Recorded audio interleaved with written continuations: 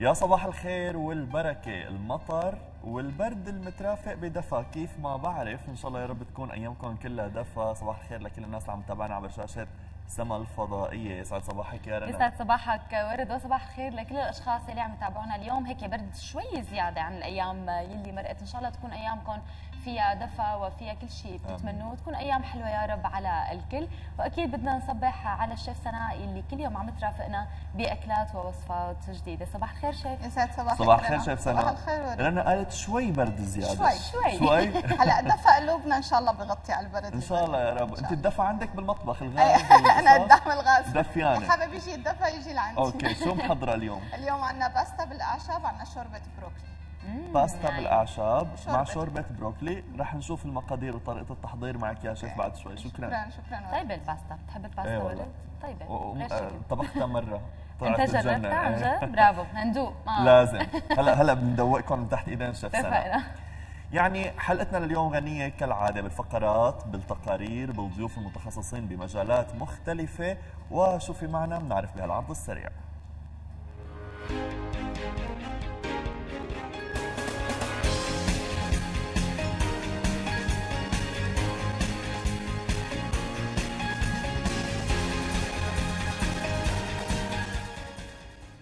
صباح الخير وبحب صبح على أهلي وحبايبي وعيلتي كلها. صباح الخير صباح الخير. Good morning. صباح الخير.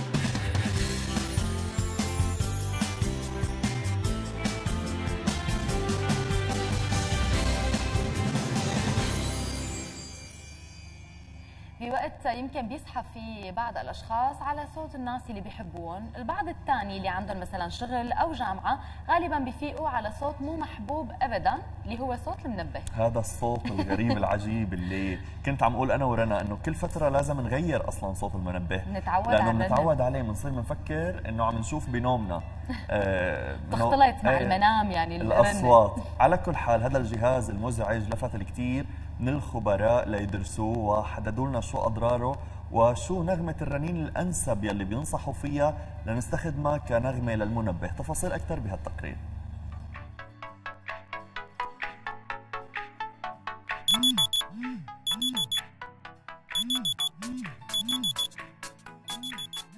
من أكثر الاختراعات إزعاجاً وصوته له قدرة كبيرة على استفزازنا كل صبح. المنبه.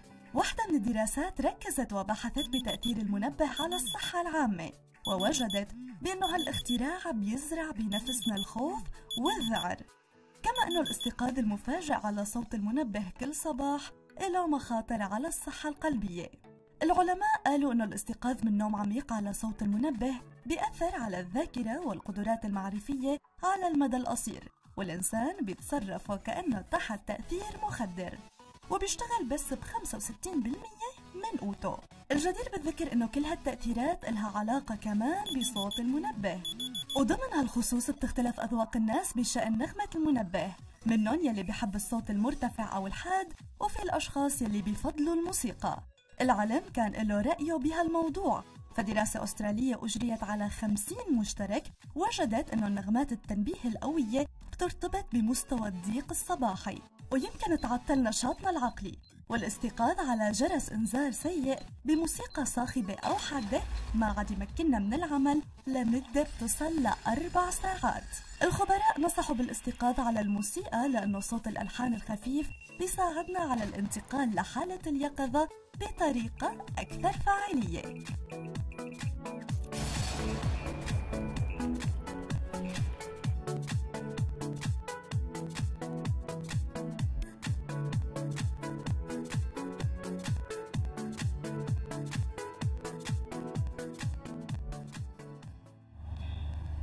صارت نروح نحن وياكم لعند الشيف سناء ونشوف شو الخطوات اللي حتبلش فيها بأكلة اليوم. تفضلي شيف. يلا حنبلش أول شيء بالشوربة لأنه الشوربة بدها وقت أكثر آه عندي لتتبيلة الشوربة ملح بهار أبيض بهار بصل وبهار ثوم عندي مواد زيتية اللي هي زبدة وزيت. ححط بالشوربة. أنا عندي هون بطاطا مقطعتها كثير صغير جزر بروكلي. طحين مشان عندي الشوربه تشد عندي هون كريم هذا شيء اختياري إذا حابين أو لا. وعندي هون مرقه الخضره أنا اللي بدي أرجع مدد فيها الشوربة.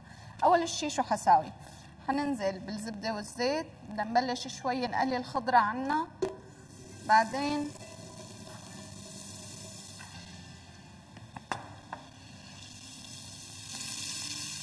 دائما بنبلش أول شيء بالخضره اللي بدها سوى أكثر أنا هون حبلش بالجزر. قطعته قد ما في ناعم فيكم تبرشوا إذا نحن بدنا نستغل وقت. حبلش هيك بس شوي يعني شي دقيقة دقيقة بس. هون عندي أنا البروكلي كمان مساويته كتير ناعم بس حخلي هون قطعة بدي شيلها للتزيين وبالباقي بدي احطه بقلب منه. قد ما في قطعوهم ناعمين. بس هيك حنتبلهم شوي. بعدين حننزل بالبطاطا. البطاطا أنا هون بعد ما قطعتها غسلتها ونقعتها بقلب المي. وإذا أنا بدي طول فيها الفكرة إنه حتى ما تعطيني هذا اللون البني أو اللون الغامق. نعمل لهم هيك تتبيله هلا. من هون أنا هلا هدول يتقلوا شوي عندي. حنبلش بخطوة واحدة من المقادير تبعتنا تبع الوصفة الثانية الوصفة الثانية اللي عندي إياها هي باستا. أنا هون عندي لحمة وبصل عندي فطر عندي اوريجانو عندي فلفل أسود بهار بصل بهار ثوم وطحين كمان حيكونوا لهي الوصفة. عندي حليب وأعشاب و كريم. نحن الباستا اللي حنستخدمها اليوم هي باستا الدولامي. هبلش أنا بالباستا أول شيء أسلقها.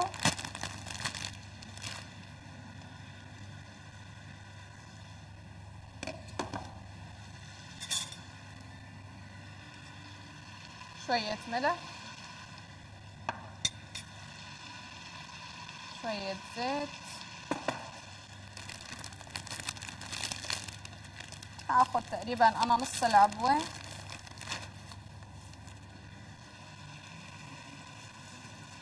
نزلها كلها هيك حاولوا ما تخلوا باستا برات المي عشان عندي ما تشد. يكفيني نص هلأ هاي 500 جرام. فيني نصها.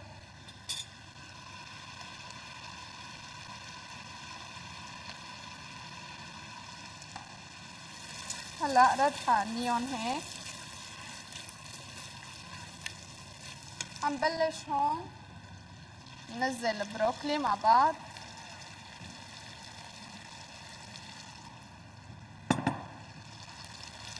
حنقليهم هيك كلهم مع بعض. وبعدين حنبلش نتبلها بالشوربة تبعنا.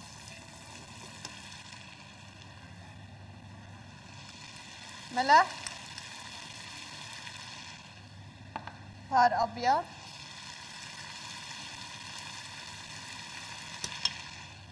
بودرة البصل وبودرة الثوم كتير بهاراتنا كتير بسيطة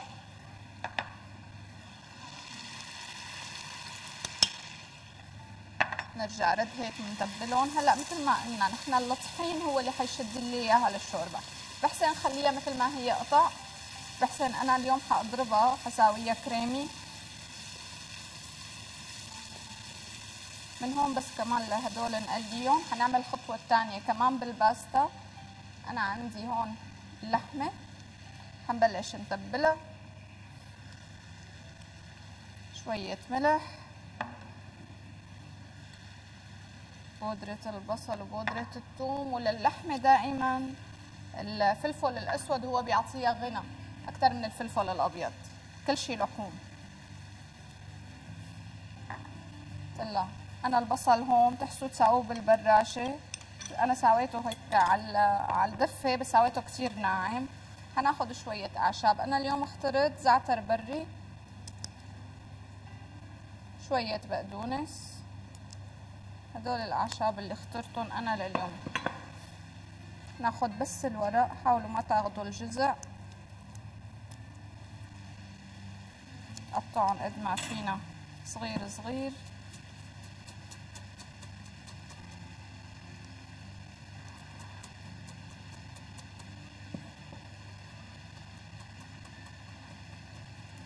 هلا ناخذهم نحطهم هون.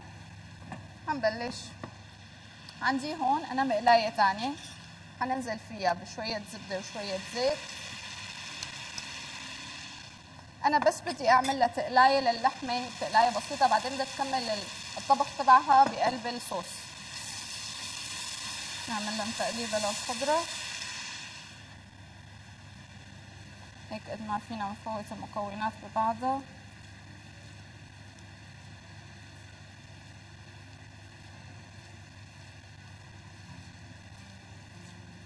هلا حنكورهم ننزلهم بقلب المواد الدسمة نعملهم كرات تقريبا بحدود العشرة جرام كل حبة. هيك حتى نخلصهم. نعمل لها تقليبة للباستا كل شوي حتى عندي ما تعجن. هلا هنكمل الشوربة تبعنا. شو حنساوي للشوربة حننزل بالطحين تقريبا معلقتين.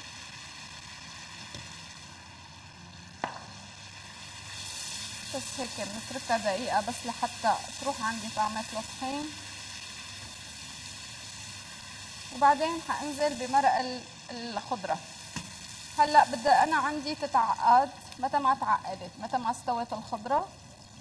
هلا الخطوة الثانية أنا إنه أنا بدي اخليها هيك لتتعقد تستوي تماما. بعدين بخلطها. هلا هيك حأتركها لتهدي. هنكمل مع بعض اللحمة. هلا خطوتنا الجاية هي أنا بس لخلص اللحمة. بدي أقلي الفطر بنفس المواد الدهنية اللي أنا قليت فيها اللحمة. بدي أسوي صوص بشاميل صوص أبيض. وبعدين بدي انزل الباستا من بعد منها هلا هيك تقريبا. أنا بس حخليها تتقلى هيك بس شوي من فوق وبعدين بدنا نكمل مع الصوص الطبخ تبعها. شكرا هيك بنرجع لكم والدورة شكرا شيف سناء. يعطيك العافية. سلام ايديك يا شيف يعني شغلة مفيدة ومنيحة لما حدا يطلب مننا وصفة. وننقله الطريقة ونخبره إنه هي من وصفات الشيف سناء بيكون هو استفاد. ولكن الشغلة اللي مو منيحه لما نقول لشخص بنعرفه والله فلان حكى عليك وذمك بأكثر من صفة. هي ما بنقولها هيك. طبعا. هي بنقولها كالتالي. تعلموا منيح. قال. آه يلا بلا ما نحكي بلا ما نحكي. لا ما رح خبرك بلا ما هزلك بدنك. تصير أنا بتقلي شو في شو انحكى؟ انحكى عليكي شغلة. شو انحكى وببلش الموضوع. هلأ السؤال اللي بدنا نطرحه على المشاهدين وعلى أنفسنا بهيك موقف مين الشخص يلي آه نقل الحديث لنا مين بيعتبر الأسوأ؟ اللي حكى علينا ولا اللي نقل الحديث لنا شو رأيك يا رنا؟ يعني صراحة بحس الاثنين. يعني هلأ هو اللي حكى هو بالنهاية عم يحكي علينا بالعاطل. مم. وبحس اللي نقل الحديث هو عم ينقله غالبا ليغيظنا ليغيظنا يعني هو بعتقد غالبا ما عم ينقله لحتى يفيدنا. ويقول لنا فلان ما بيحبك أو فلان دير بالك منه أو بتخيل الاثنين يعني. هلأ حالات نادرة إنه اللي عم ينقل لنا الحديث عن جد هدفه يكون مصلحتنا وإنه يحذرنا نديروا بالكم من هالموضوع. واصلا طريقة نقل الحديث بتورجينا إنه هذا اللي عم ينقل لنا الحديث يا ترى هدفه إنه يخضنا ولا يهزنا ولا هدفه إنه آه، فعلا ننتبه. نحن من امبارح يا رنا طرحنا على صفحتنا على الفيسبوك سؤال عم يقول شو الأسوأ بالنسبة لكم قائل الكلام عنك أو ناقله إليك؟ شاركونا رأيكم لنستعرضه بالتعليقات خلال الحلقة رح نروح للشارع السوري. ونسألهم نفس السؤال لنشوف شو إجاباتهم.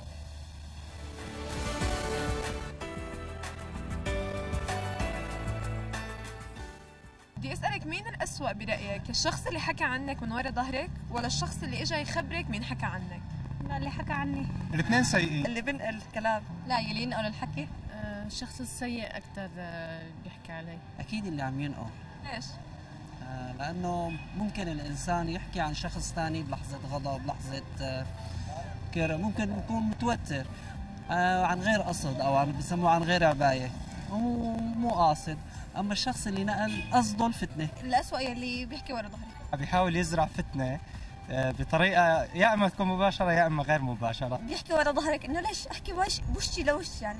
حسب الطريقة اللي بلغني فيها الخبر يعني. إنه أسلوبه كيف وصل لي إياه هو قصده الله يغيظني ليرمي بلا بيناتنا هذا بيلعب دور. لازم ما يوصل اللي بيشوف لازم يستر. ما غاظك الا اللي بلغك بس ما بتفرق معي. يعني اثنين سيئين بالنهاية.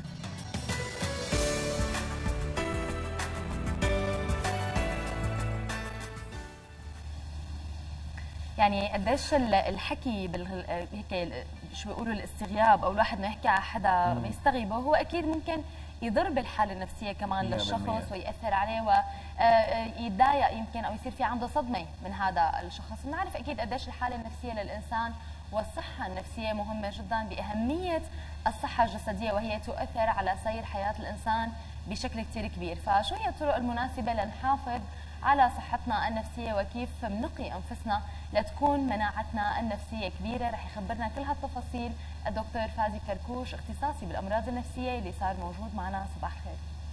كيفك دكتور؟ أهلا وسهلا فيك. صباح الخير دكتور أهلا وسهلا فيك. فيك. يعني فعلا موضوع الصحة النفسية موضوع وإن كان جديد على ما سمعنا يمكن بالسبعينات لبلش ينحكى فيه ولكن مهم جدا. شو بنقصد بالصحة النفسية أو المناعة النفسية؟ هلا في فرق تام بين الكلمتين ما الفرق؟ بين المناعة وبين الصحة النفسية. هلا الصحة النفسية هي يعني خلينا نقول عنوان عريض لتفاصيل كثير تحته تشمل يعني شيء اسمه يعني درجة من الاستجابة والتكيف الطبيعية مع كل الظروف والمطبات الحياتية والتعامل معها يعني خلينا نقول بحكمة ومنطقية وعقلانية. موضوع موضوع المناعة النفسية هي خلينا نقول يعني كأداة طبي ما موجودة الكلمة. بس هي يعني خلينا نقول فينا نقربها أكثر هي قديش أنت حصلت من مرونة أو عندك من مرونة نفسية بالتعامل مع هالمطبات اللي ذكرناها لتحافظ على درجة يعني خلينا نقول معقولة ومناسبة من الصحة النفسية للتعامل مع ظروف الحياة اليومية أو الطارئة. تمام.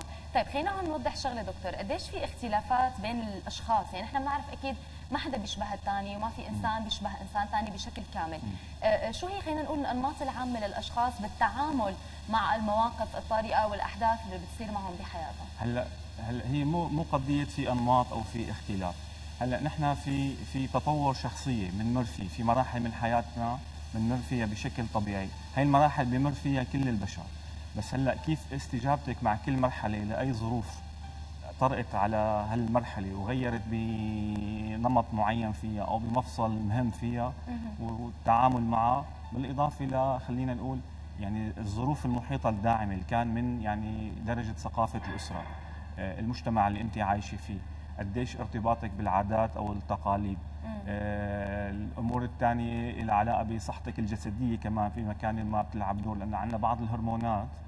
بسموها هرمونات. الشدة مثل الكورتيزول.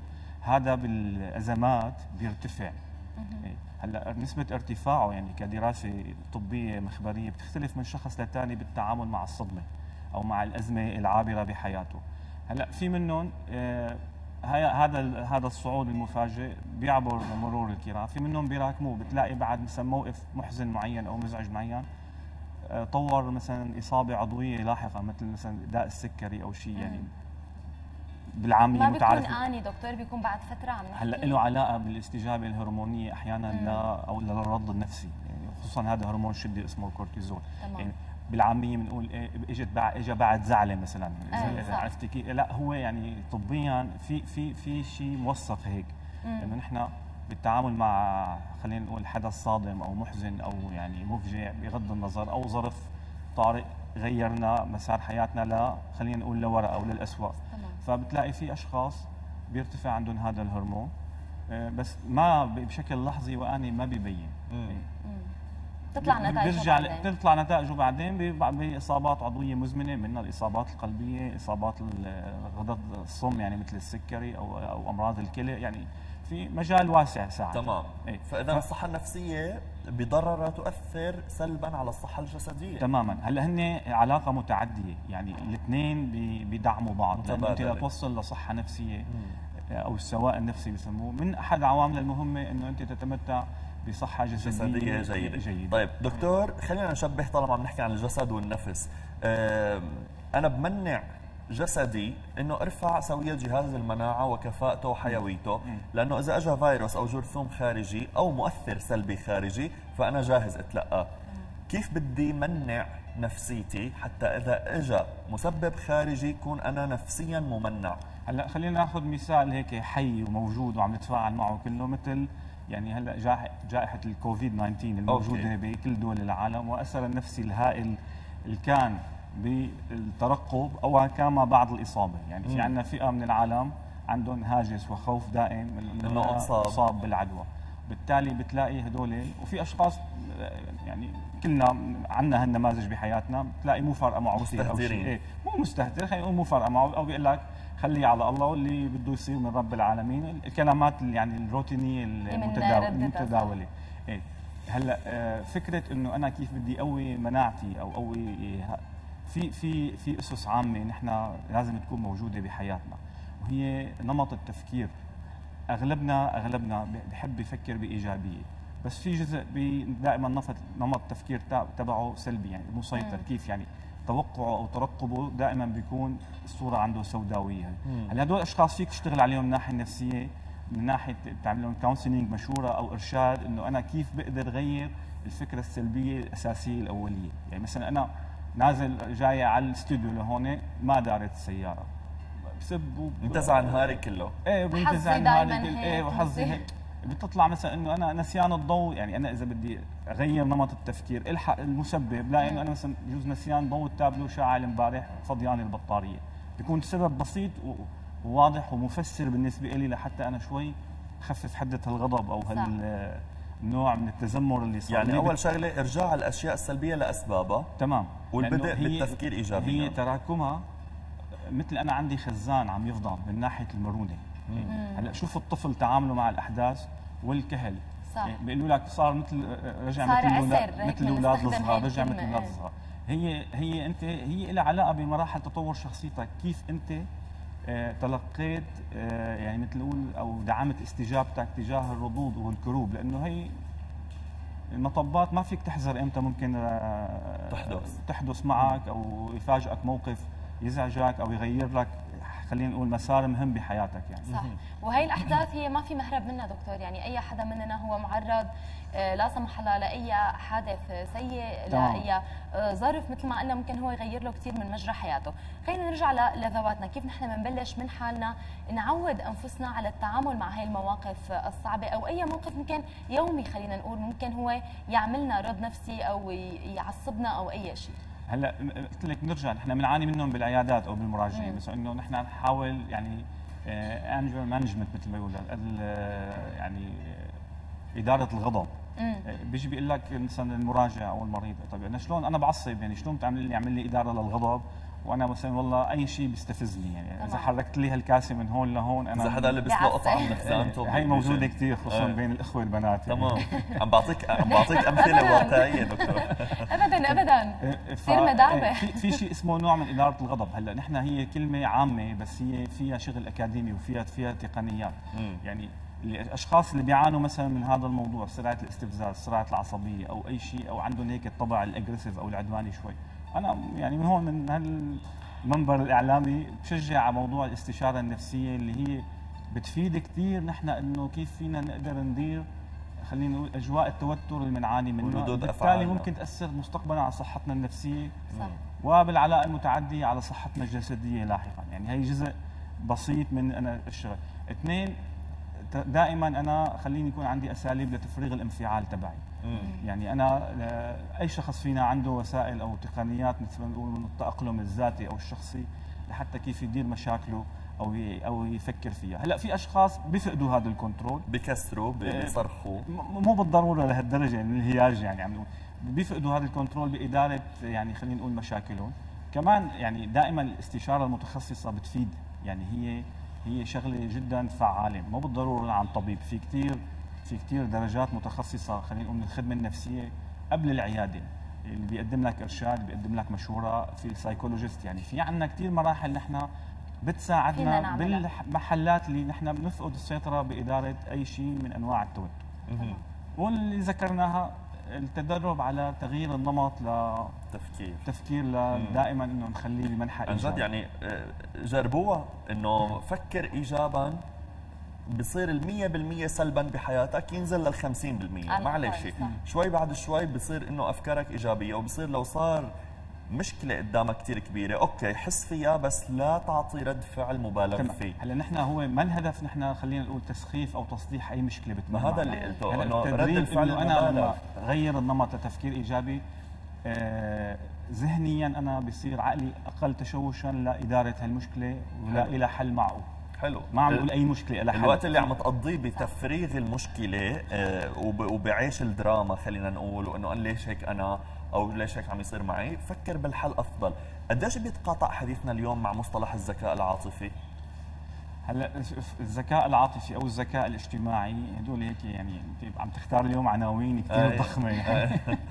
إيه، هلأ دائما الأشخاص بيتمتعوا بهذا الموضوع من أو بهذا النوعين من الذكاء. بيتميزوا فيه عن آخرين أنا برأيي أنجح دائما بإدارة مشاكلهم يعني هذا لا يعني إنه الأشخاص اللي ما واصلين لهالدرجة هن أشخاص يعني خلينا نقول من الناحيه النفسية إيه، عندهم علة نفسية أو في عندهم اضطراب. لا هي الأمر موضوع تدريب. في عالم موضوع الذكاء الاجتماعي والعاطفي نوع من التالنت أو الموهبة بتخلق معه بيطورها هو حسب مجال عمله اللي عم يكون فيه أو مجال شغله.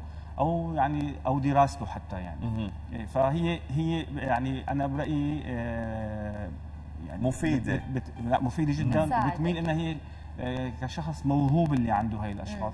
بس لا يعني إنه بقية أفراد المجتمع اللي لا يتمتعوا والله بذكاء عاطفي فظيع إنه هن أشخاص ما منتجين أو يعني أصحاء نفسيا لحتى إنه يكونوا يعني فعالين بالمجتمع تمام دكتور فادي بدنا نتشكرك كثير على وجودك معنا يعني مثل ما قلنا العناوين كبيرة والحديث يطول, يطول بهي دائماً. الأمور أكيد بس التضوايه. مهمة يعني أكيد. نحن عم نضوي دائما هيك أصلا فقراتنا دائما هي فعلا تضوايه على هي المواضيع إن شاء الله أكيد بحلقات قادمة بنحكي أيضا بشكل. مفصل شكرا. كثير شكرا كثير لك دكتور الحالة النفسية للإنسان أكيد تلعب دور كبير بنجاحه مثل ما حكينا وتأقلمه مع المحيط وعلى قراراته حتى بالتقرير التالي. حنتعرف على أبرز الإحصائيات يلي بتتناول الأمراض النفسية وانتشارها بدول العالم.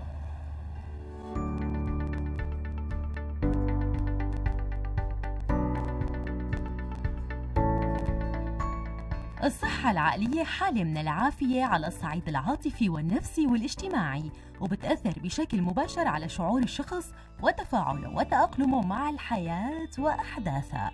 وبتحدد كيفية تعامل الشخص مع الضغوطات وكيفية اتخاذه لقراراته. ووفقا لبيانات منشورة من قبل منظمة الصحة العالمية ربع سكان العالم سيصابون بمرض نفسي في مرحلة ما من حياتهم. والأمراض النفسية بتسبب حدوث عدد كبير من الوفيات وحالات العجز بتتراوح بين 8.8% و 16.6% من عبء المرض الإجمالي الناجم عن الاعتلالات الصحية بالبلدان المنخفضة والمتوسطة الدخل.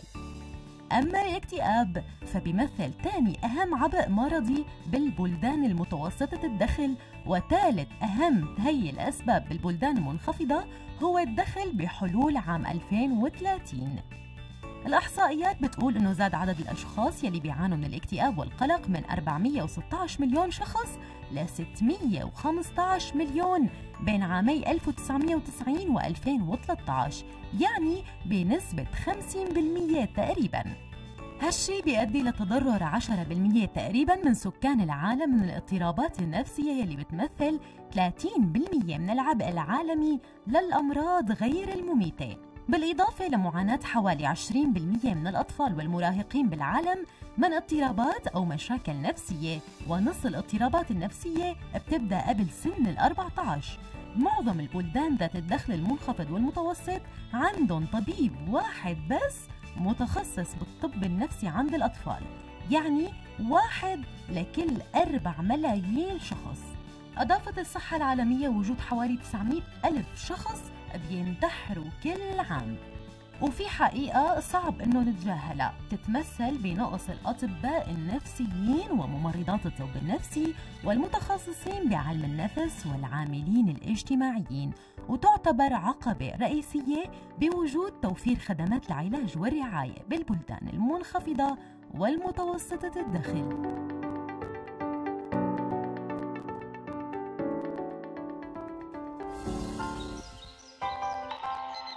you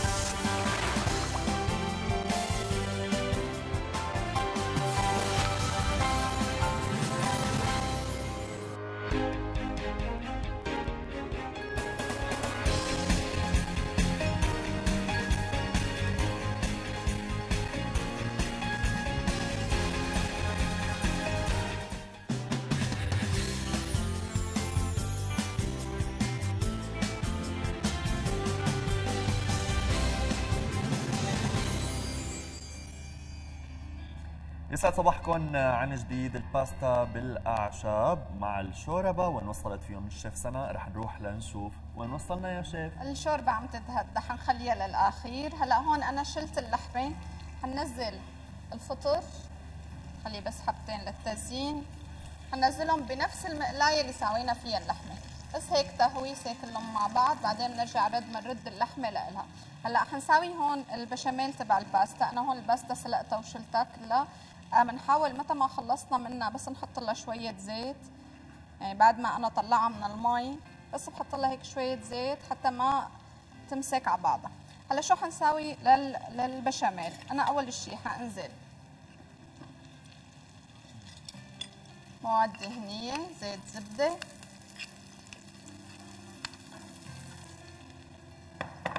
أحط شوية طحين.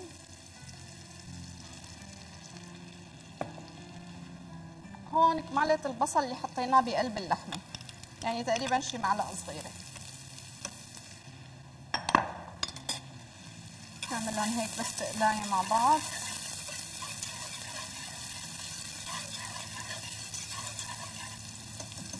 قد ما فينا البصلة تكون صغيرة حتى ما كتير تبين بقلب الصوص. عندي تقريبا هون معلقتين طحين. كمان حأتركهم شوي ليتحمصوا.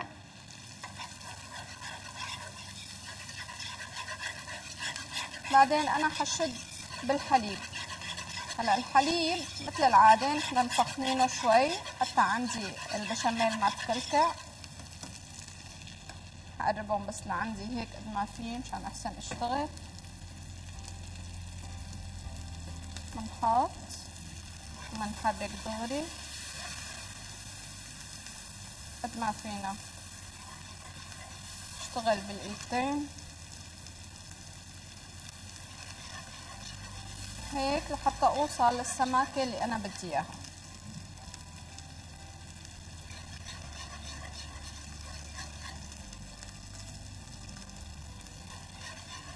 هيك تقريبا. هلأ بترجع بتشد شوي مثل ما أخذتهم. أحط بس كبجاية تانية وبتكون خالصة.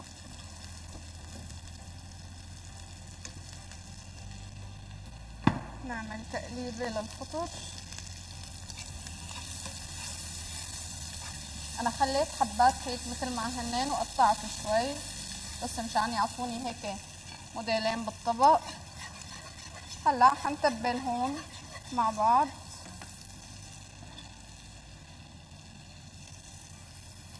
شوية ملح. أنا عندي اللحمة متبلة ما كتير حزود. شوية بهار أبيض. بودرة البصل وبودرة الثوم. عندي هون شوية أوريجانو بحسن كمان نزل شوية أعشاب. حنزل شوية أعشاب صغيرة بس هيك شوية أعشاب فريش.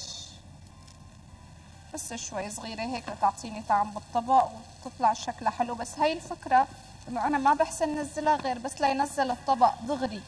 لأنه عندي هون الأعشاب دغري دغري بتسود بقى. هي النقطة دغري وقت اللي بدكم تنزلوا الطبق. هلا هيك خالص. ننزل بالفطر.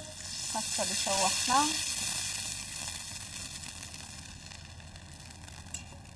واللحمة.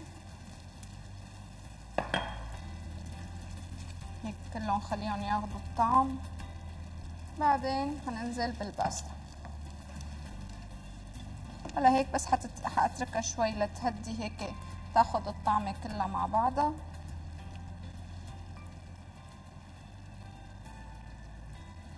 يكون طبقنا تقريبا جاهز بس حنخلط مع بعض الشوربة عشان ننزلها الكريم.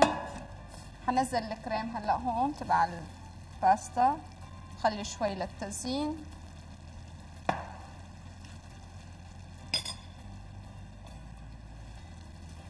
هيك تتبلخ كلها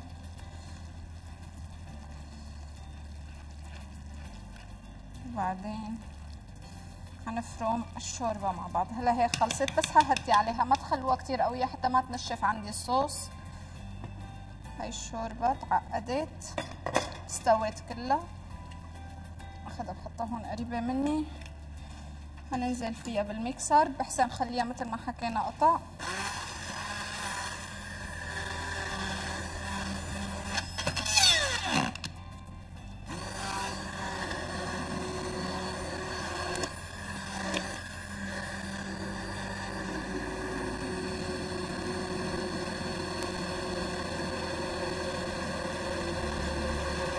تمام هلا هيك جاهزة؟ حننزل. بالكريم آخر شي بننزل الكريم. كتير بتفرق الطعمة بالكريم. وهيك بتكون الشوربة خالصة معنا الباستا خالصة صفيت بس على التقديم. ونرجع لكم ورد ورن شكرا يا شيخ شكراً يا يعطيك ألف ولد. عافية. شكرا كثير لك شيف. من بين يمكن الكثير من المدارس والمكتبات الأثرية الموجودة ضمن مدينة دمشق اليوم. رح نحكي عن المكتبة العادلية يلي قدرت رغم الكثير من الظروف الصعبة إنه تحافظ على التراث يلي بتحتويه. هاي المكتبة وهي المدرسة الرائعة طبعا هالشيء مو غريب لما بنكون عم نحكي عن عاصمة مثل دمشق. معلومات أكثر عن المكتبة العادلية رح نعرفها بالدقائق القادمة.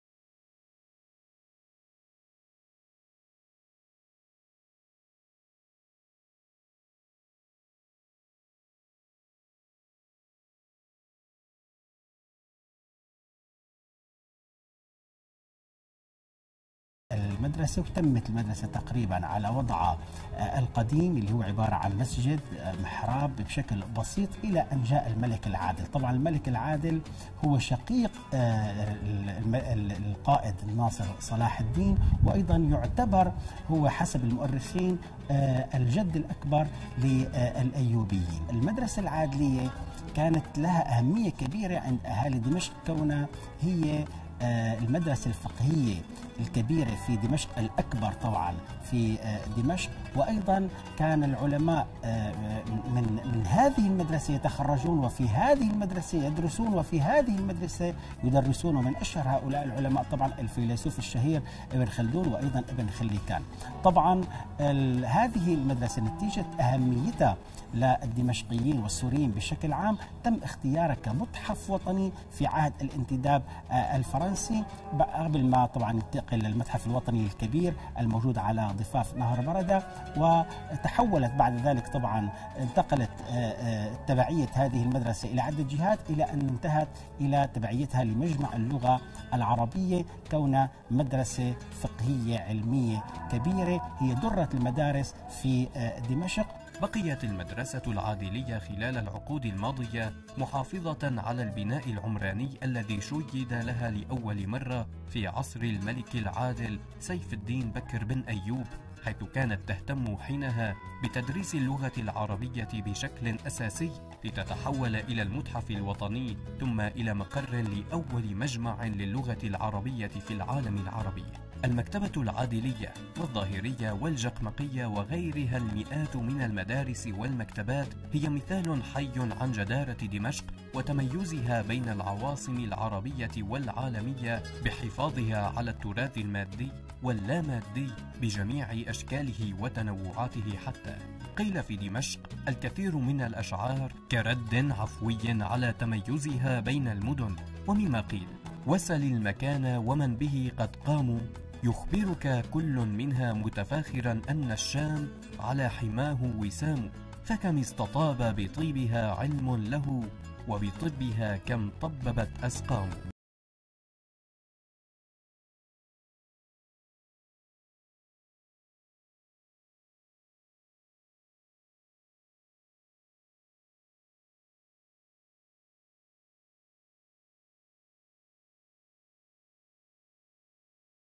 عن جديد. اختيار ملابس المولود الجديد هي واحدة من أجمل اللحظات اللي بتمر على كل أم. عم تستعد لاستقبال طفلة أو طفلتين اللي جايين على هالدنيا. صح. يعني بينطروهم لحتى الديارة بيقولوا لها ديارة البيبي ديارة البيبي الجديد. ومن ضمن آه، آه، الديارة كثير من القطع والتفاصيل اللي بتغيب عن ذهن الأم يمكن لانشغالها بأمور ثانية لكن ضمن هالفقرة آه، كل شيء بيخطر على بال الأم. من الأسئلة رح تاخذ أجوبتها مثلا. وشو القطع الضرورية يلي لازم تشتريها؟ وشو نوعية القماش المناسب لهالقطع؟ حتى يمكن يخطر لها شو بدها تعمل بهالثياب بعد ما يكبر المولود الأول. كل هالتساؤلات رح تجاوبنا عنها رنا وضيفتنا خبيرة الصناعات الحرفية اليدوية الست ريما خير الله. تفضلي يا رنا. شكرا ورد.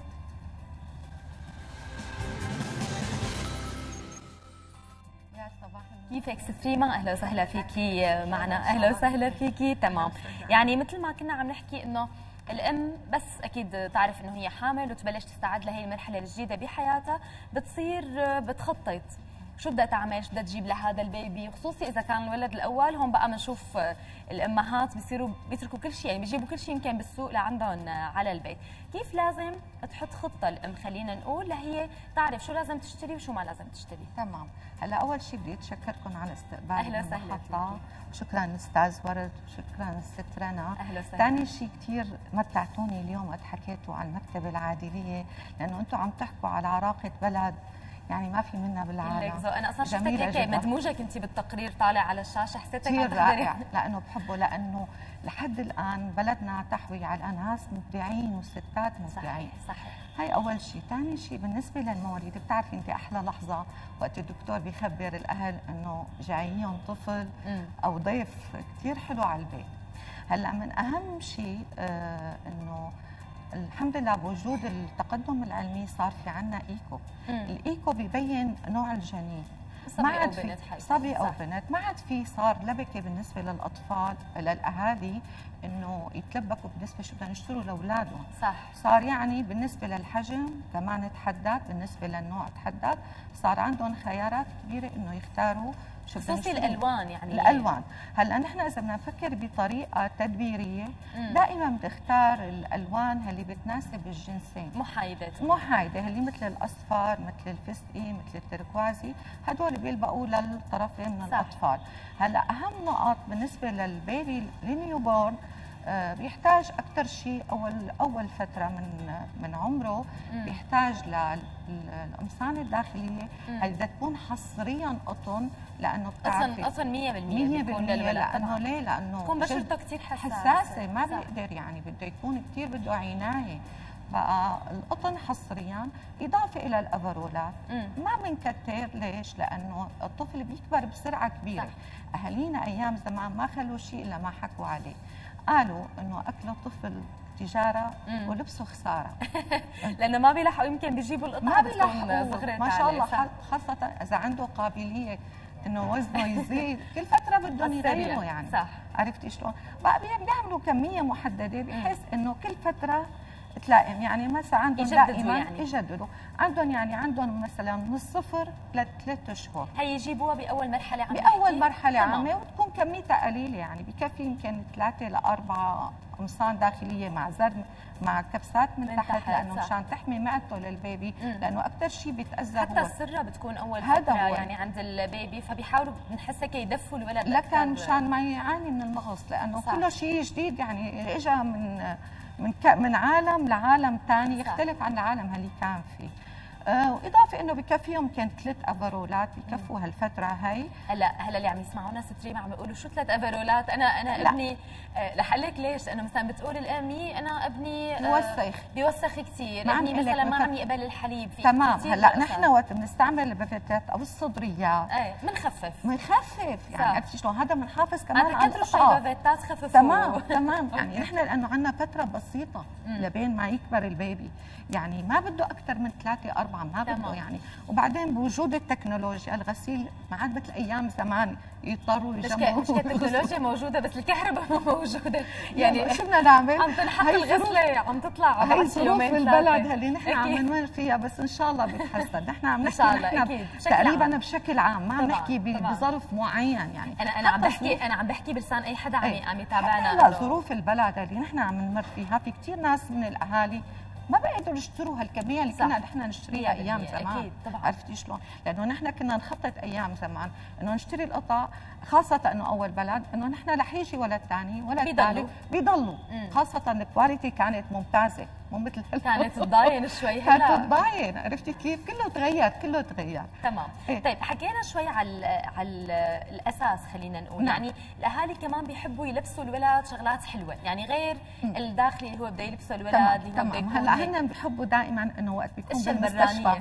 بالمستشفى إيه. لازم يلبسوا هيك كانوا أهالينا أيام زمان يعملوا مثل الفستان اللي كان بيلبسون لل- للأمراء وقت الولادة فستان طويل لل- عليه ضغط للأم ت- لا تقصدي للولد؟ للبيبي يا حزين ليش إيه الولد بيكون لايام هيك وقت. المبارك. المبارك لأنه كانوا يستعملوا الإنداء إيه. وهلا التغت ومع إنه هلأ. الغرب. رجعوا لها يلبسوا فوق منه فستان فستان كله دانتيل صبي أو بنت صبي أو بنت آه إيه. يعني هاد بسموه فستان النزلة إيه إيه بالمستشفى لازم يستعملوا حلوة هي هلأ. قولي بطلت هالعادة صاروا شي. أفرولات مرتبه ثقيله تمام بيلبسوا شيء هيك إنه إضافة إلى إحرام مثلا مرتب تمام. ثقيل أنا هو كان بدي أحكي على القطع الموجودة معنا القطع اللي جايبت لنا إياهم ستريما هي آه، كمان الأم بتحب هي تكون أنا كثير بحب إيه، يعني هي بتكون كمان بتفوكس. على الأطفال وبينسوا أحيانا تعب. حملت وتعذبت تعب الأم. يعني أنا حتى. بتضحكي علي اذا عيد ميلاد طفل بجيب للأم والطفل. للاثنين للاثنين حبيتها كثير للمدام ريما على فكرة. جدا جدا.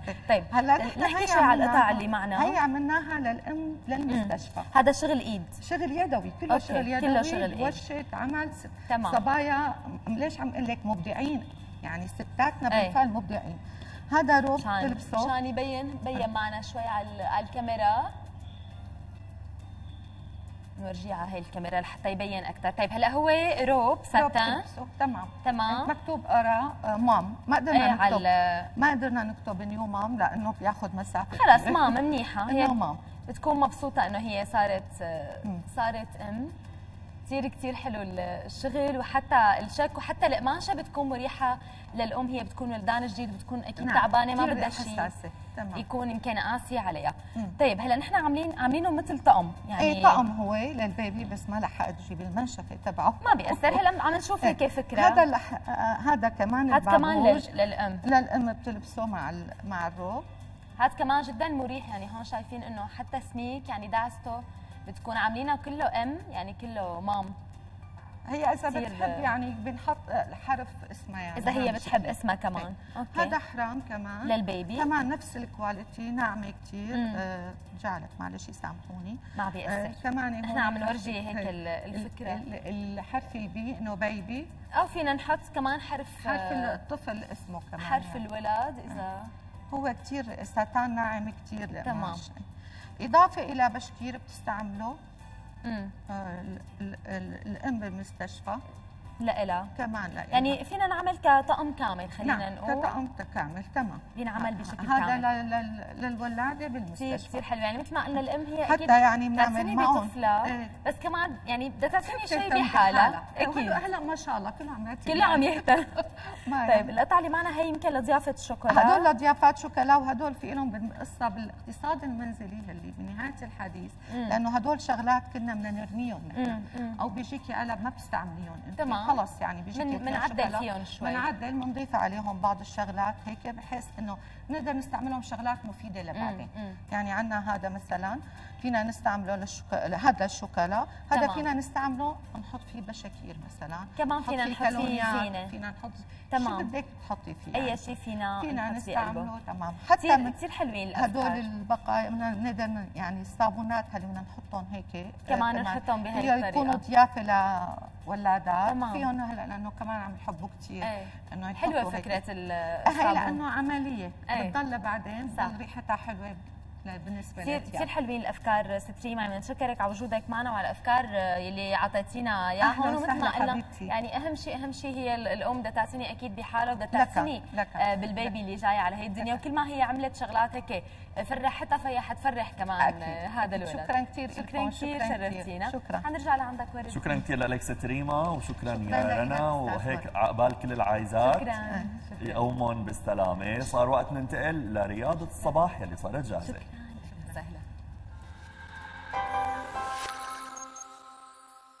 يسعد صباحكم معكم coach رينار من Uptown Sport Academy اليوم حناخذ مجموعة تمارين لحتى نتخلص من الزوائد اللي موجوده على الإيدين وأيضا خلف الإيدين عند الأكتاف.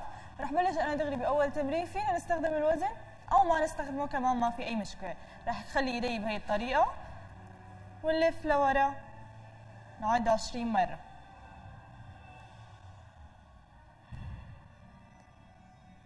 عشرة وهلأ بالاتجاه المعاكس لقدام عشرة.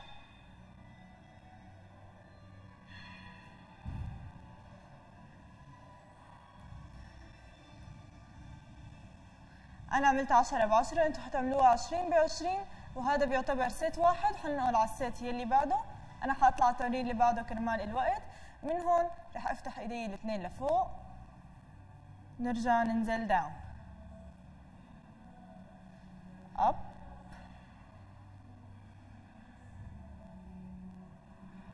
شادين معدتنا. نطلع نفس وإحنا نازلين بناخذ نفس.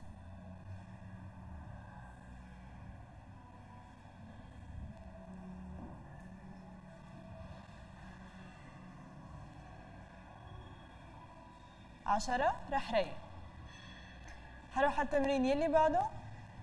حخلي ظهري مشدود صدري مشدود كمان اطوي ركبي شوي صغيرة حأنزل لتحت. من هون رح شد بإيدي لفوق بعدين حناخدها لفوق كمان نرجع نسكر ننزل لتحت.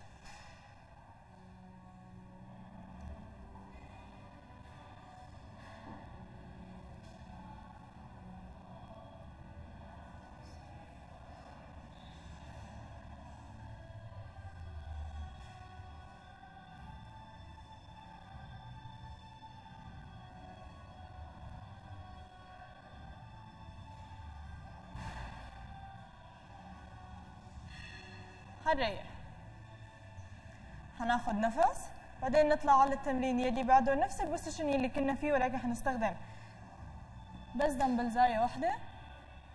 من هون أيضا رح أطوي ركبي. ظهري مشدود صدري مشدود حأنزل لتحت. باتجاه الأرض رح أرفع الوزن لفوق. نرجع نص نزلة لتحت. على مستوى الصدر. اثنين.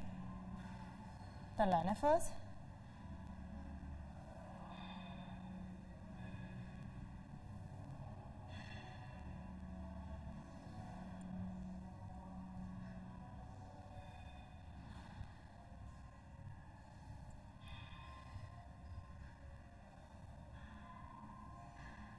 هنريح التمرين يلي بعده؟ هاخذ الوزنتين مع بعضهم. حشكل إيدي بهي الطريقة زاوية 90 على كل إيد حضمهم لجوا. نرجع نفتح لبرا ونعمل سكويز على الكتاف الخلفية. اثنين.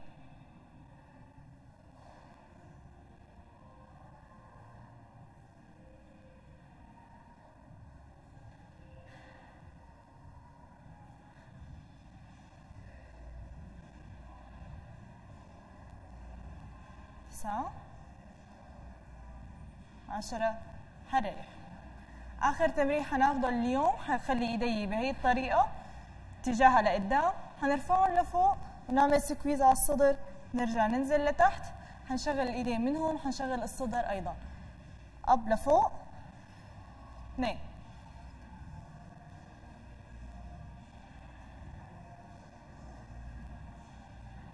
نثبت فوق ثلاث ثواني نزول بطيء لتحت.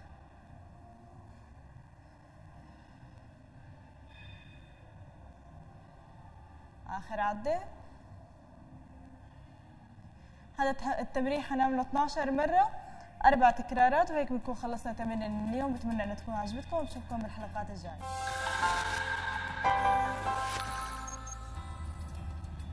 الراتب مسابقة فيها العديد من المفاجآت والسحوبات بعشر الشهر ربحنا راتب شهري لمدة سنة بقيمة 100 ألف ليرة سورية.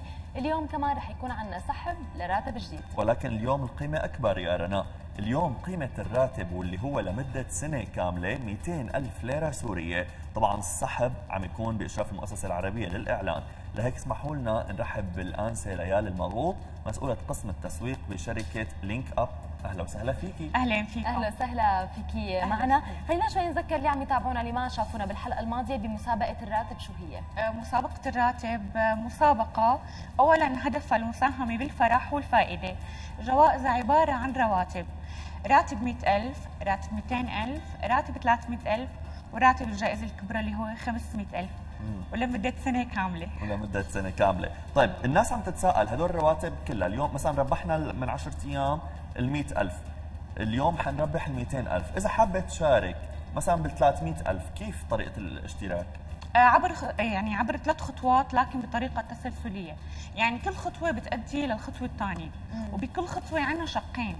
الشق الأول اللي هو السؤال والجواب واللي بيأهلك لتدخل على السحب. الشق الثاني اللي هو دعم النقاط.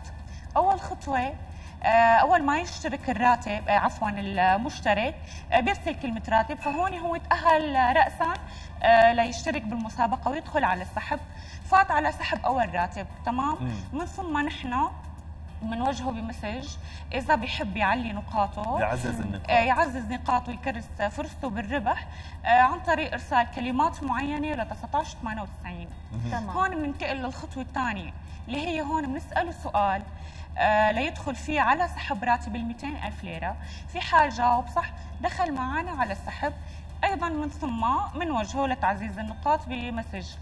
آه هون في حال حقق هي الخطوتين تأهل معنا للخطوة الثالثة اللي هي بنسأله سؤال ليدخل معنا على سحب راتب 300 ألف ليرة سوري. أيضا كذلك الأمر في حال جاوب صح دخل معنا على السحب.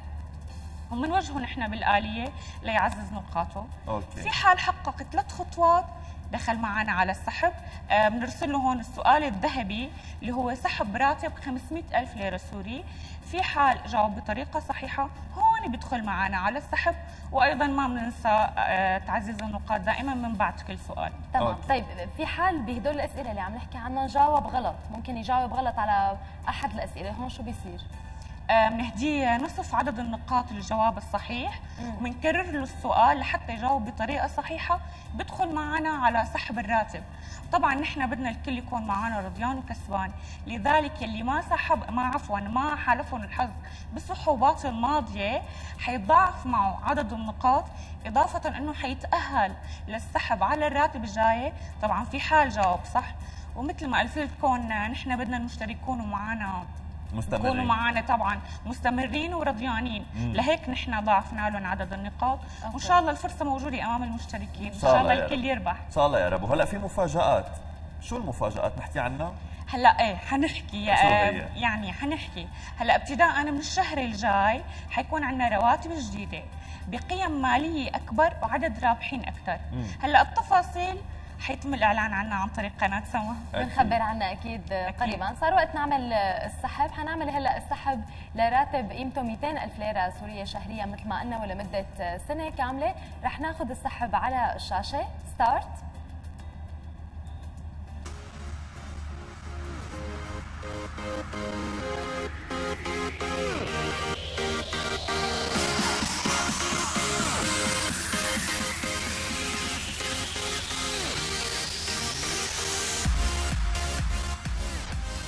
stop ألف مبروك للرقم 0934 996 767 رح عيد الرقم مرة ثانية.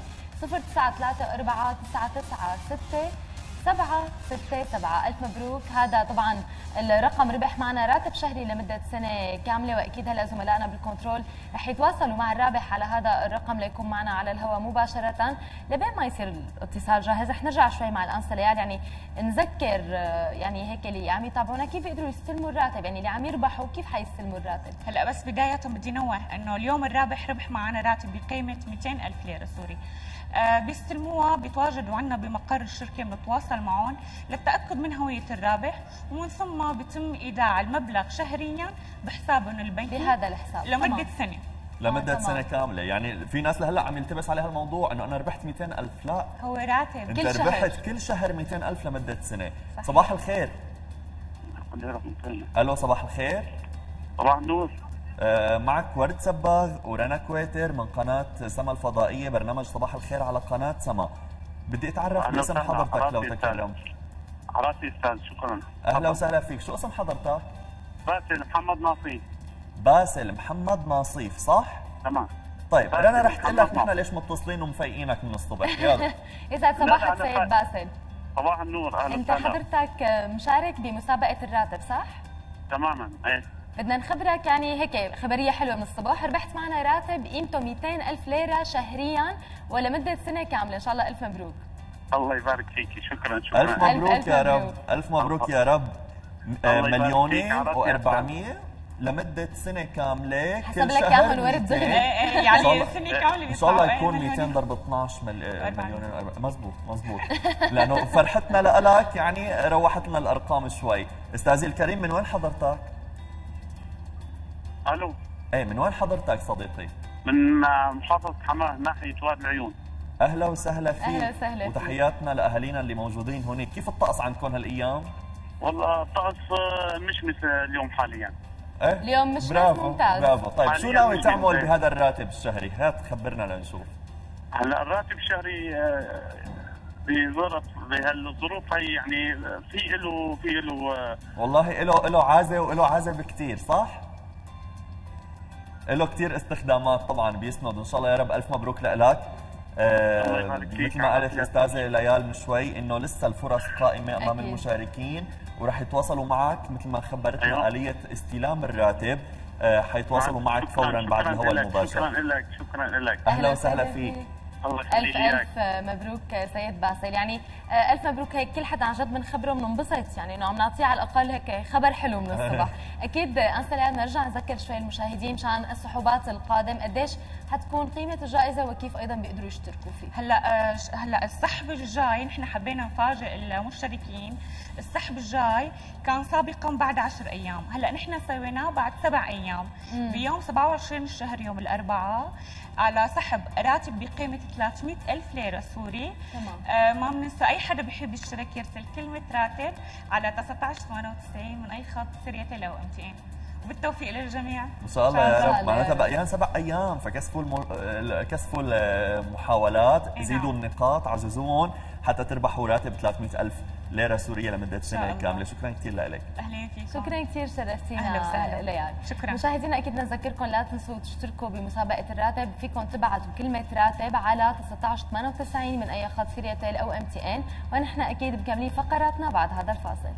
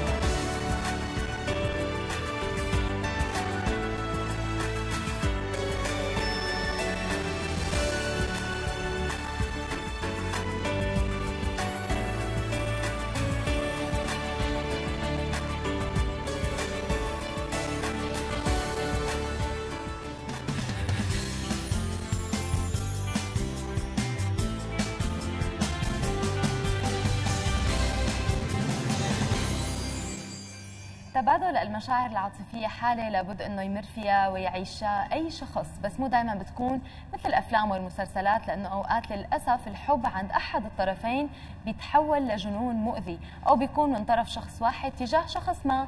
أو أحد المشاهير يعني غير متبادل. وهي الأسباب كلها بينتج عنه مشكلة خلينا نقول عنها الإحباط عند الشخص فبيتحول الشعور من إعجاب وتعلق بسيط لمرض نفسي وهو متلازمة الهوس العاطفي. شو بنقصد بهالمتلازمة وشو أبرز العلامات اللي بتدل على الإصابة فيها؟ وكيف بيتعامل المحيط مع هالحالة؟ رح يخبرنا أكثر تفاصيل ورد.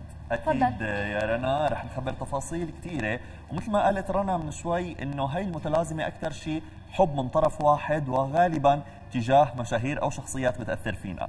متلازمة الهوس العاطفي حالة نادرة من حالات الصحة العقلية. تم اكتشافها لأول مرة في عام 1921 على يد أحد الأطباء النفسيين وعرفوا على أنه عبارة عن توهم المريض واعتقاده بأنه شخص ما بحبه وعم يرسل له إشارات عن طريق نبرة الصوت أو حركات الإيدين ولغة الجسد وهو بيصيب النساء أكثر من الرجال ويبحث بأغلب الأحيان بفقرات عديدة ومتنوعة علم النفس طبعا عن هالموضوع بيحدث بنوبات الشيزوفرينيا أكيد بيكتر عند المصابين باضطراب الذهان أو الاضطراب ثنائي القطب وكمان بعلاقات الحب المبالغ فيها بشكل كبير.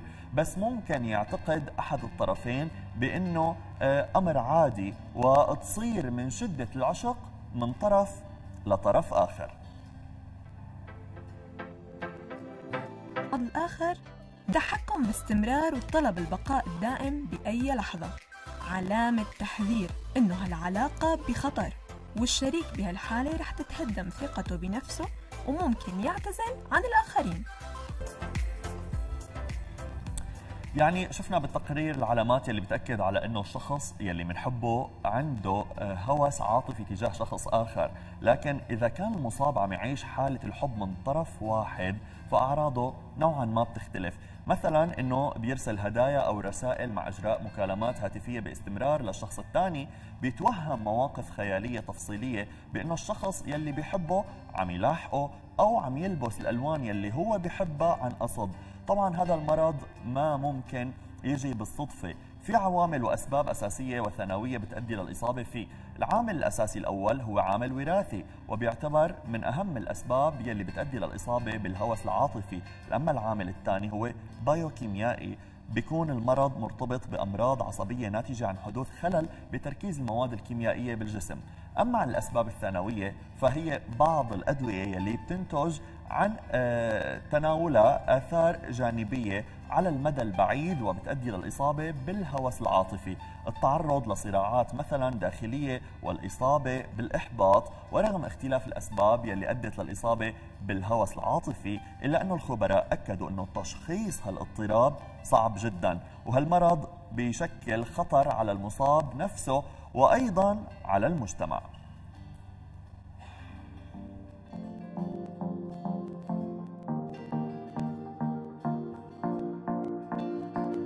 الشخص المصاب بالهوس العاطفي بيتوهم كتير قصص تجاه المحيط وممكن يسبب خطر ببعض الأحيان على أهله وأصدقائه بسبب اعتقاده بأنهم عم يستنكروا ويسخروا منه. ووضح الأطباء أن متلازمة الهوس العاطفي تم تصنيفها ضمن توهم جنون العظمة فحددوا طرق خاصة لتعامل المحيط مع المريض.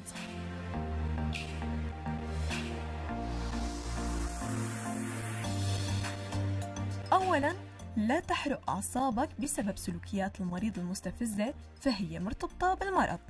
ثانياً حقق راحتك بدعم المريض بعلاجه النفسي. ثالثاً راقب التزام المريض بتعاطي الدواء لحتى ما تسوء حالته ويأثر على حياتك. رابعاً لا تتركه أثناء النوبات وساعده لحتى ما تتطور الحالة بسبب إزعاج للأسرة والمجتمع. خامسا أغلق باب المحفزات يلي ممكن تثيره وتنشط نوباته مثل الشجار والصراخ والمشاكل الأسرية. سادسا تنازل عن السيطرة لأنك ما حتستطيع التحكم بسلوكياته. وأخيرا الالتزام الصارم بالعلاج ومواصلة التدرب على التأقلم وفعل أشياء إيجابية.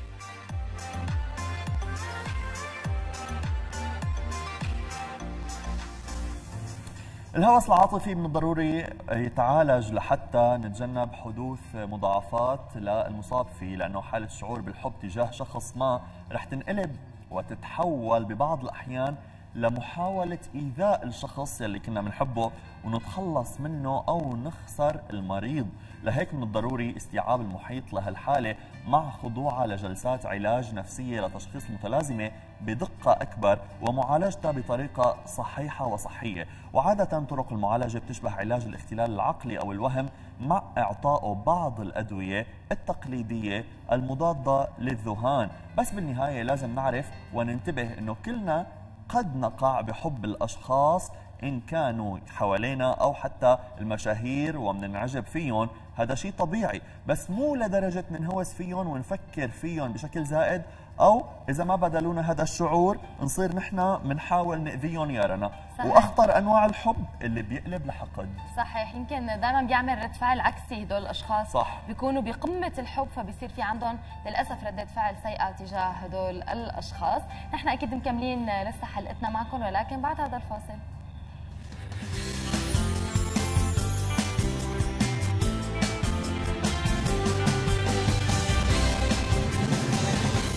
صار وقت نروح نحن وياكم للفقرة اللي كل يوم تنطروها بنفس الوقت فقرة الأبراج مع المدام نجلاء أباني. صباح الخير. صباح الخير صباح الخير يا مدام. صباح الخير يا ولد. صباح الخير للجميع.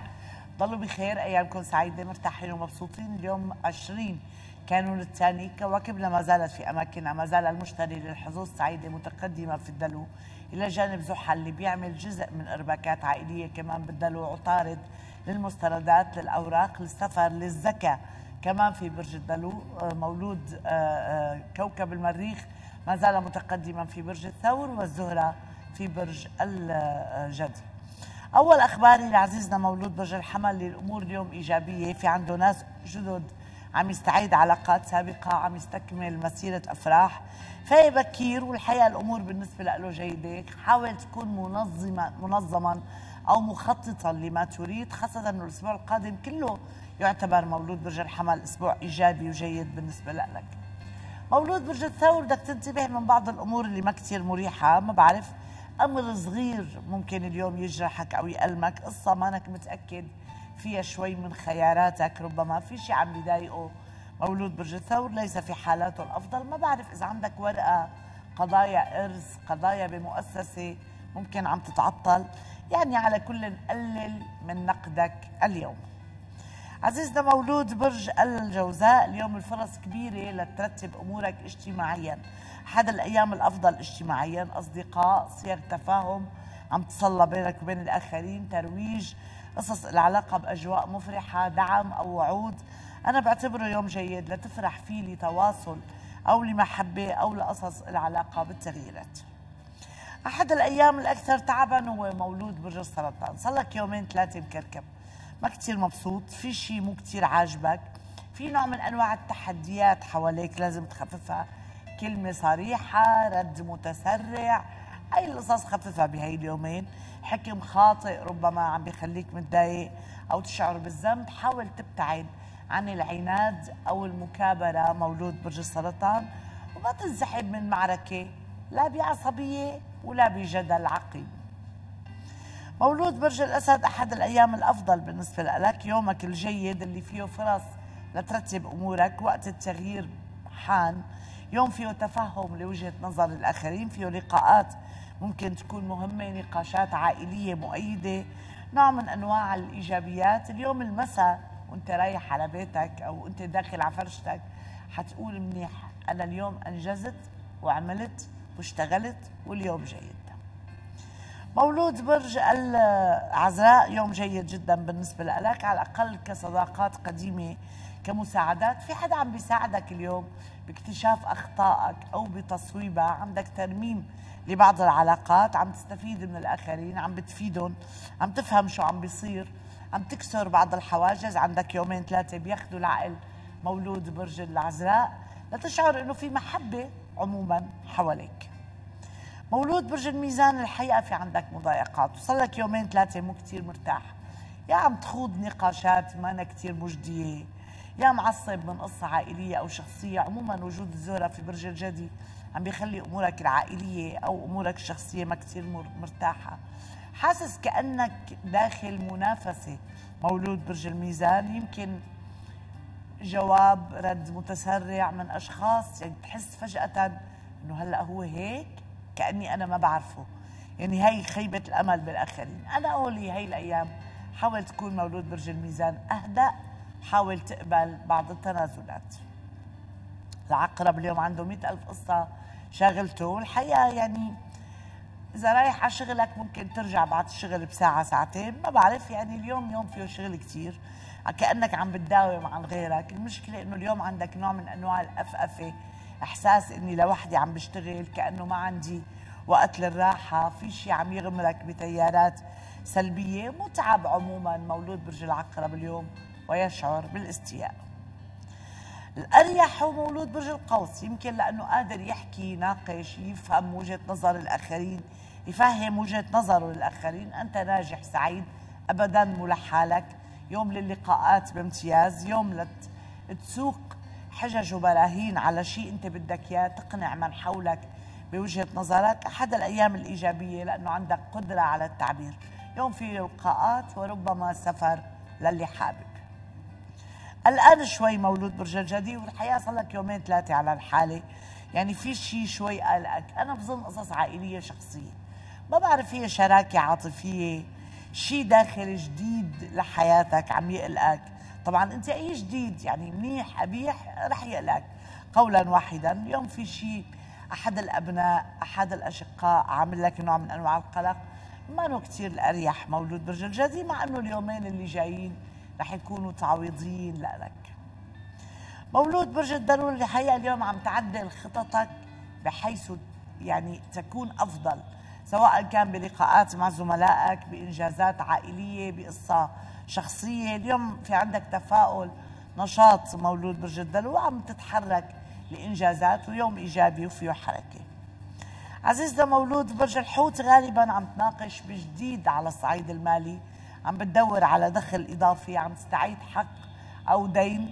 الأمور بالنسبة لك إيجابية. ما بعتبره أنا شهر سيء ماليا. طبعا لا يعتبر الأفضل بس خذ مني نصيحة ادخر ما استطعت. خليني عايد مولود اليوم اللي هو مولود آه 20 إن شاء الله أيامكم دائما سعيدة. طبعا هو آخذ من البرجين آخذ من الجدي والدلو. مولود خلق ليكون جدير بالمسؤوليات. بحب التحصيل العلمي مثقف. هي اخذها من الدلو. واقعيه الجدي مع ثقافة الدلو تخليك شخصية متزنة مسالمة غير ميالة إلى العنف. اميل للدبلوماسيه للأرقام للعيلة حبه للمال لا يسرق منه تواضعه. قادر على التكيف مع معظم الأجواء. آه، الزواج بالنسبة له قرار صعب لازم يكون مرتب كل أموره ليفكر بشكل إيجابي بشكل زواج. حضور مميز مسالم خالي من العنف. سنة مهمة لترقية لسفر لأشياء معلقة لبيع عقار مشترك مع أفراد الأسرة ملكية مشتركة فض شراكات سعيد بالأمور المالية. سنة مهمة وإيجابية وجيدة خاصة على صعيد ارتباط إذا كنت خاليا أو ترتيب لبعض الأمور العائلية. إن شاء الله الأيام سعيدة للجميع. تضلوا بخير وأيامكم سعيدة.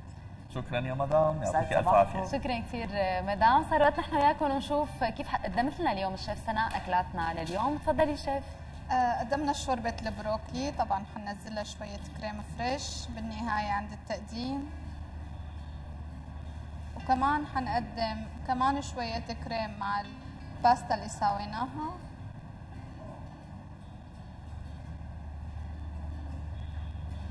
وهيك تقريبا بيكونوا خالصين طبقينا لليوم سوينا باستا بالاعشاب وشوربه بروكلي وصحتين وهنا ان شاء الله تعجبكم شكرا يا شيف سناء. يعطيك ألف عافية. ضروريه الشوربة بهالطقس أكيد.